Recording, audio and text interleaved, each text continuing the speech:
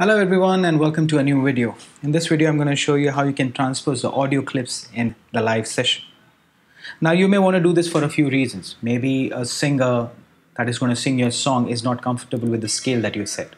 Or maybe you are not happy with the way your song is sounding and you want to change the key of the song to make it sound a little darker or maybe even brighter. So whatever the reason is, I'll show you a very simple fix for it. So here I have a groove going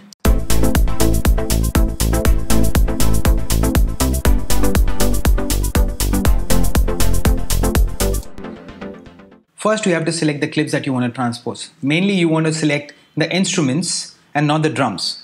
So what you want to do is you want to click the first clip and hold down shift and double click on the last clip. That will open up this clip editor. After that, what you want to do is you want to switch on the warp and then go here and select Complex Pro.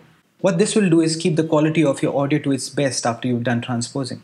Now go here to this round pitch knob and now move it how much ever you want to change the pitch.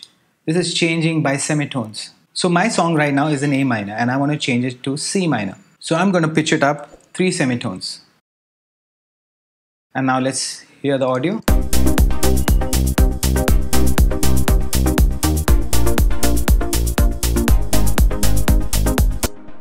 Okay, let's select this and go back down and get it back to normal and hear it.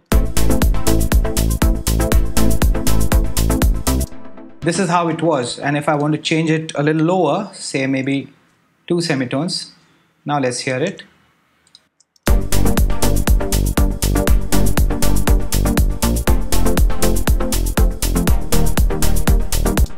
I think I'll keep it to three semitones up to C minor and I'll finalize the song.